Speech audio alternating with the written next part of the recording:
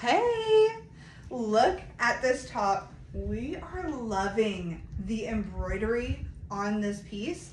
It's such a gorgeous piece with details all the way down here at the sleeve, embroidered on design, all the way around the collar. And then this is like a mandarin neckline. It has such a pretty design here, right here, embroidered all the way through the shirt.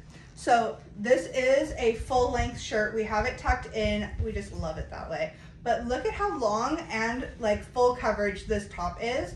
You could even wear this one with leggings. So I'm wearing the XL. I'm wearing the small.